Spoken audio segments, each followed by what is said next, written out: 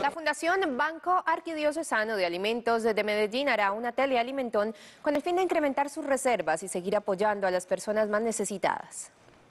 La campaña se llevará a cabo en el Centro Comercial San Diego el próximo 3 de septiembre desde las 12 hasta las 8 de la noche. Telealimentón es la campaña de recaudación de fondos del Banco de Alimentos para hacer toda la logística de recaudación de productos, alimentos y no alimentos, desde la producción, desde la comercialización, hasta llevarlo al banco, dignificarlo y entregarlo a los más necesitados. Aproximadamente 58 mil habitantes de Antioquia en condición de vulnerabilidad serán beneficiados con esta iniciativa. Si alimentas a una persona adecuadamente, tiene desarrollo cerebral adecuado, tiene las posibilidades y oportunidades más grandes.